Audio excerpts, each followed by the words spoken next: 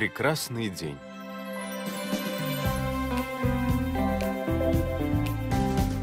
Вкус острова.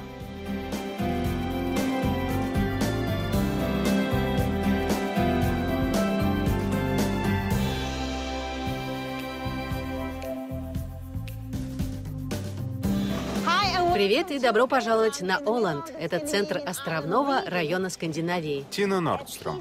Спокойный уголок между двумя очень деятельными нациями – финнами и шведами. Меня сюда пригласил мой друг Микель Бьорклунд. Он утверждает, вы не знаете, что такое отдых, пока не посетите Оланд. Морское путешествие из Швеции занимает примерно два часа.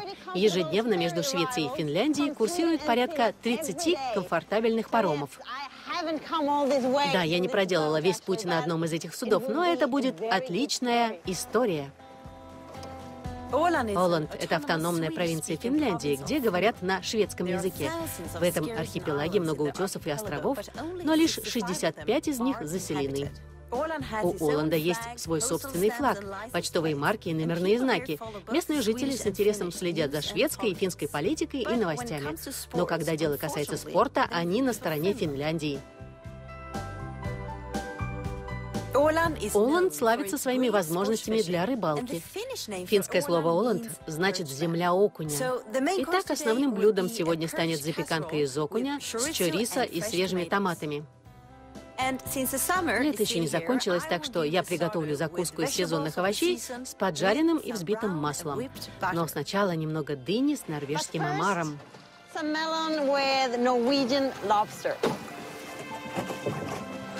В заливе Марехам стоит четырехмачтовое судно «Померн». Это единственный сохранившийся корабль такого рода в мире. «Померн» в отличном состоянии. До 1939 года это судно занималось перевозкой грузов, сейчас его превратили в музей. Что думаете об этом судне? Вот это я понимаю, модерн. Сегодня у нас в гостях Микель Бьорклунд и Сара. Она ведет финские передачи «Прекрасный день». Гости приедут чуть позже. Обещаю, мы приготовим отличную дыню с норвежским омаром. Для начала я приготовлю смесь с васаби для дыни. Впрочем, у меня здесь не только дыня. Это арбуз. А это типичная скандинавская дыня. Итак, займемся нашим соусом с васаби. Красный репчатый лук. Кладем красный лук в салатник. Оливковое масло. Сок и цедра одного лайма.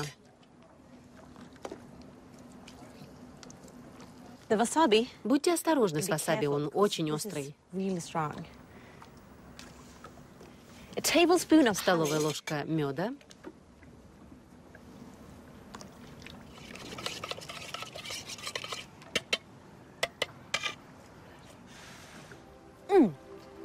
Замечательно.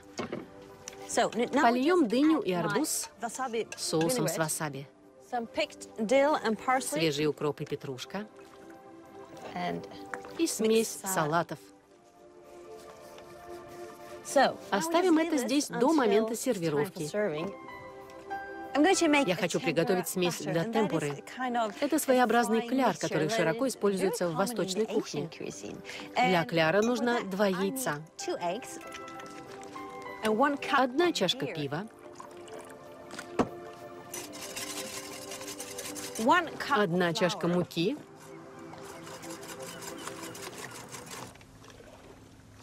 немного соли. И перца. Итак, моя смесь для темпуры готова. Подогреем оливковое масло и займемся жаркой. А вот и ты. Как раз вовремя. Да. Это Микель Бьорклунд, мой бывший коллега. Мы вместе участвовали в конкурсе «Шведский шеф-повар года». Ты победил. Happy day. Счастливый день. Хороший день. Да. Но это было семь лет назад. Хочу сказать, что сейчас я стала готовить гораздо лучше. Хорошо. Ты самый известный шеф-повар Оланда, верно? Можно и так сказать. Здесь много поваров? Много. Много.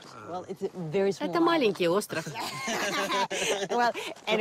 В любом случае, я ужасно рада, что ты здесь и поможешь мне с готовкой. Это норвежский омар. Можешь разрезать пополам и окунуть. Yeah. Так. Отлично. Чем же так необычна еда на этом острове? На Оланде много разной рыбы. У нас тут есть щуки, отличная рыба. Окуни. Белая рыба.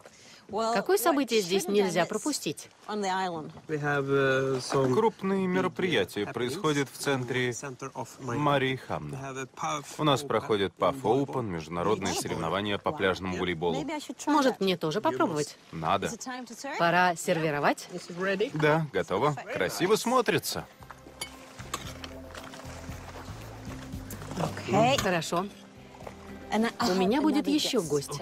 Точнее, гости. Это Сара. Это прекрасно. Она скоро подойдет. Сюда.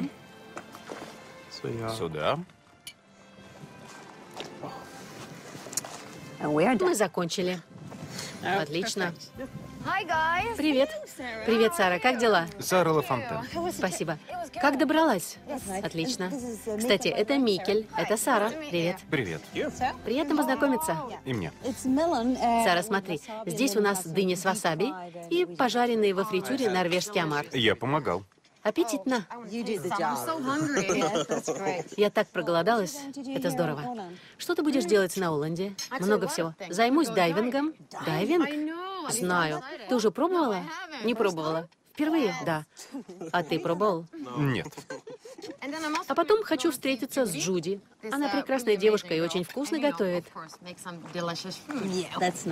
Да, это здорово. Микель рассказывал мне про международные соревнования по пляжному волейболу в Марьехамне.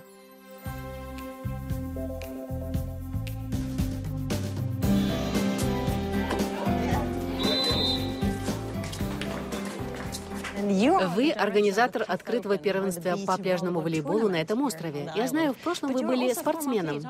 Верно? Да, Хавьер Босма. Я играл на Олимпийских играх 2000 года. Они проходили в Сиднее, в Австралии. А еще представлял Швецию в Афинах в 2004 Впечатляет. А что будет сегодня? У нас на Оланде проходят международные соревнования. Соревнования по пляжному волейболу. В будущем году 37 стран будут состязаться на Олимпийских играх в Пекине. Сейчас лучшие игроки мира стараются завоевать право выступать на будущих Олимпийских играх. Удивительно, все это происходит на маленьком острове. Кстати, этот песок из Швеции, его привезли на корабле. Из Швеции? Да. Неужели на острове нет песка? Песок тут есть, но к нему предъявляют особые требования. Пришлось искать подходящий песок в Швеции и везти сюда. Скажите мне честно, вы можете научить меня играть или это слишком сложно? Нет, пляжный волейбол — это просто я могу вас научить. Отлично, приступим. Ладно. Итак, все просто. Вы должны передать мяч мне. Делайте передачи или кидайте мяч над сеткой. Ладно.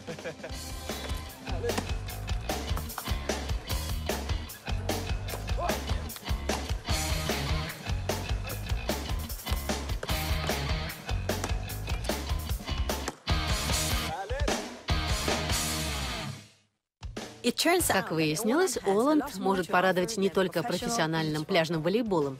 Ежегодная концертная неделя привлекает сюда многих скандинавских музыкантов и тысячи зрителей. Что касается еды, обязательно попробуйте местный черный хлеб. Его делают на закваске. Я имела возможность поучиться его готовить у настоящего профессионала.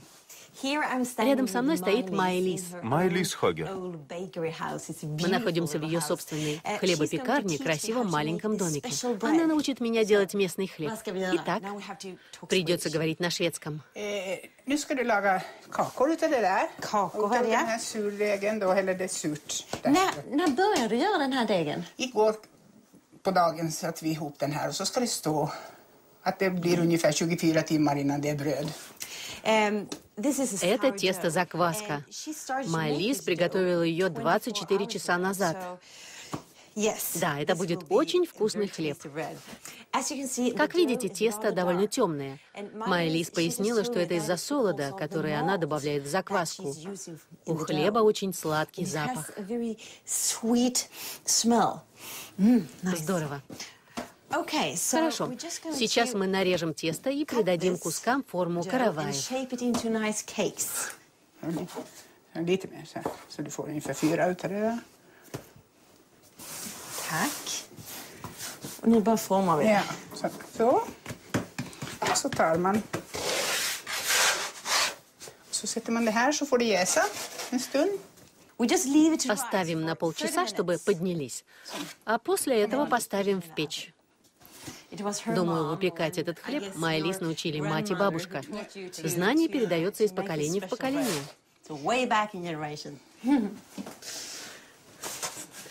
Итак, хлеб выпечен.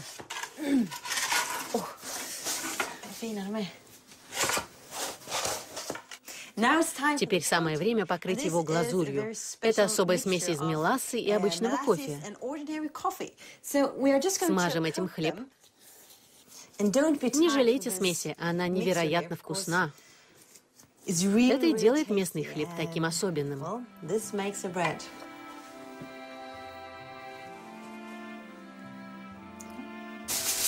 Vad gör vi nu sa vi? Nu sätter vi in det här och så sätter vi folie runt så håller fukten bättre. Сейчас мы вновь уберем хлеба в печь и оставим там на 6-8 часов. В результате у нас получится черный хлеб. Его следует есть со сливочным маслом, обычным маслом из этого региона.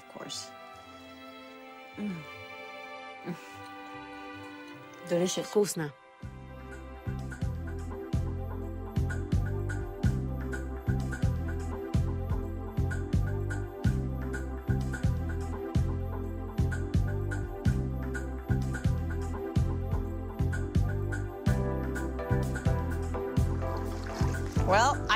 Я люблю спорт. Но мне кажется, пляжного волейбола мне хватило на неделю. Все тело болит. А ночью будут болеть руки. На Оланде много красивых, удобных бухт. Обязательно посетите их, если путешествуете на судне. Некоторые острова так близко расположены, что с одного на другой можно добраться на любом плавучем средстве. К примеру, на каяке.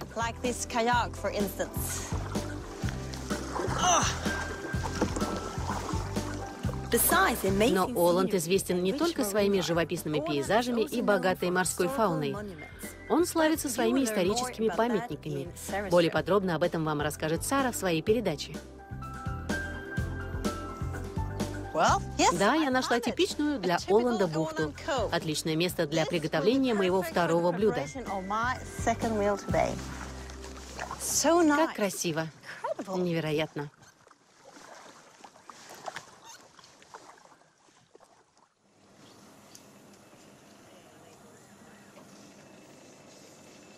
Мы находимся в бухте под названием Корингсунд на западном побережье Оланда. Здесь так красиво, что даже не верится.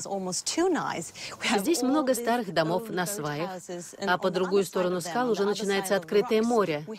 Рядом со мной находится Янес Бодега. Сегодня у меня есть публика. Привет, публика. Мне нравится быть на публике. Я такая. В любом случае, мы сейчас приготовим отличное блюдо. Вот мои корнеплоды. Здесь морковь, корень петрушки и пастернак. Вот здесь вода, которую я подготовила заранее. Здесь соль, перец, немного масла. Очень важно, чтобы у воды был какой-то вкус. Ее надо крепко посолить. Вот что мы сейчас сделаем. Добавим сюда крюндел. К сожалению, я не знаю, как он правильно называется. На самом деле это обычный укроп, который зацвел. Вот он. Мы называем такой укроп крюндел. Морковь, пастернак, Мы разрежем их пополам. Начнем варить пастернак и корни петрушки. Они немного крупнее, чем морковь. Думаю, их надо варить на пару минут дольше. Кладем сюда. Важный момент. Когда отвариваете корнеплоды, не надо наливать много воды. В противном случае все витамины и весь аромат уйдет в воду. Будет жаль. Вода должна только покрывать. Этого хватит. Очень важно.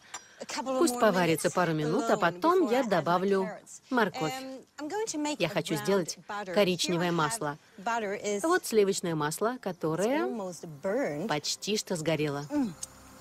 Коричневое масло имеет привкус жареного фундука. Вкусно. Сольем это масло в салатник. Поставим его сюда. А вот здесь приготовлен лед. Я все тщательно перемешаю, чтобы получилась однородная масса. После этого мы добавим туда лимон, красный репчатый лук и укроп.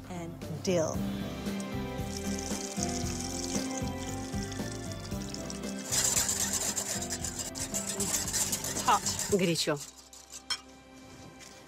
Посмотрим, как там корнеплоды. Да, пора класть морковь. Мне нравится этот рецепт, он простой. Здесь нужно не так много ингредиентов. Еще пара минут, и все будет готово.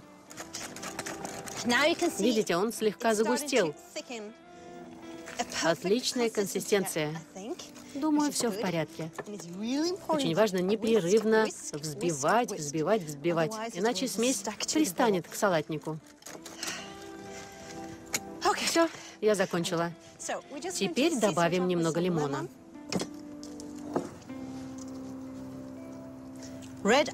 Красный лук, соль,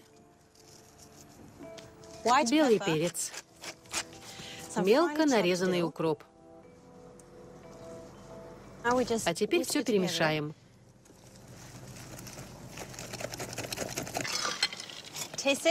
Попробуем.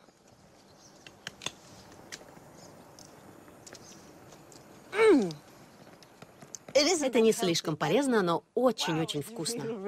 Я должна это попробовать.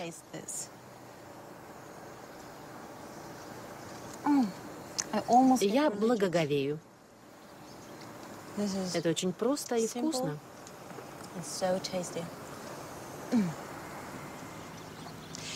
А сейчас я нанесу визит в местную пивоварню. Мне нужно хорошее пиво для главного блюда.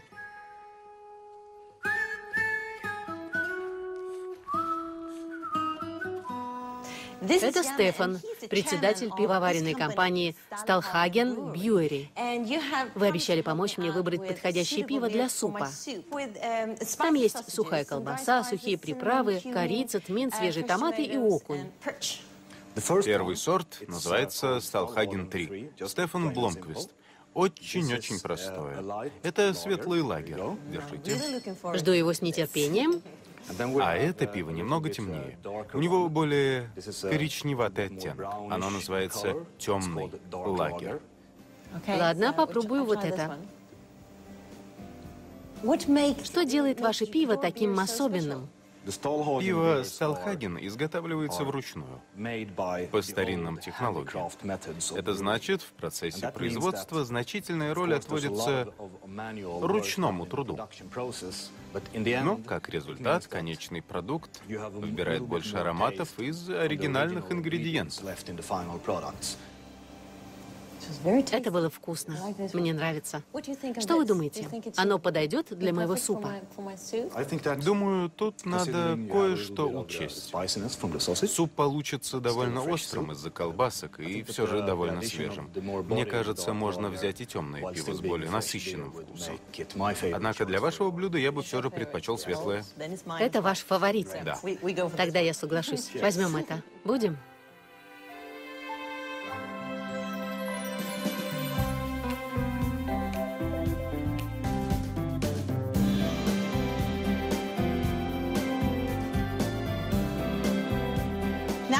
Теперь у меня есть пиво. Пора готовить мое чудо одной кастрюли с томатами, колбасками и окунем. Для начала обжарим белый репчатый лук и немного сухих специй. Также добавим 4 зубчика чеснока. Его нужно растолочь. Готово. Отличная кастрюля. Когда-то она принадлежала моей бабушке. Я использую сухие приправы. Здесь тмин, корица и кориандр. Должна признать, что иногда у меня возникали сложности, к примеру, с тмином. Но это когда он один. В смеси с другими специями он совсем гармонирует. Это что-то вроде поэзии приправ или чего-то такого. Кладем лук и сухие приправы. Кориандр, корица и тмин. Чеснок.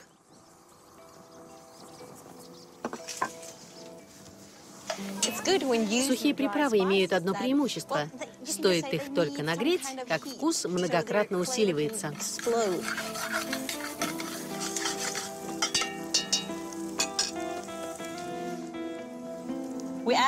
Кладем томаты.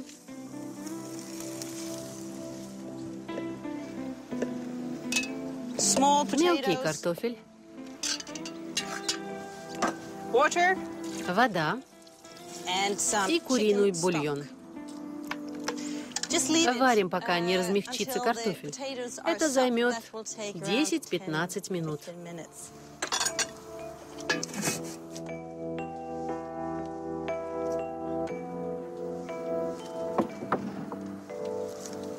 А вот наш окунь из Балтийского моря. Он широко распространен в Воланде.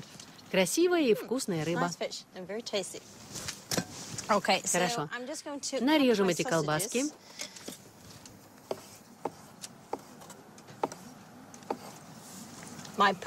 Мой окунь просто разделим.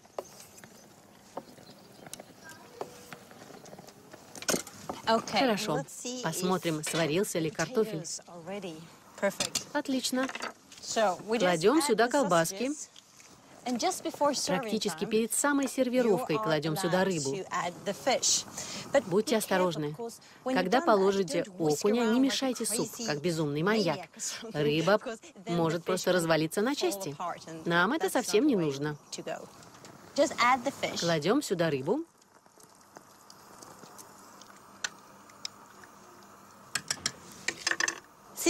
Приправляем ее солью и перцем. Соль. Щепоть сахара. Вот так. И белый перец. Хорошо, мы почти закончили. Я жду только приезда гостей.